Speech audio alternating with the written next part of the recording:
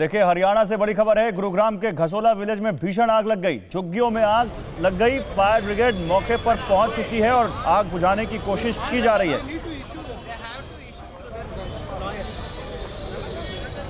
तो ये गुरुग्राम की तस्वीरें हम आपको दिखा रहे हैं। घसोला विलेज में भीषण आग लग गई, झुग्गियों में फायर ब्रिगेड की टीम मौके पर पहुँची है। आग बुझाने की कोशिश की जा रही है। लोग कैसे अपने घरों में आग लगकर देखते हुए, बिलखते हुए दिख रहे हैं, आपको देखिए।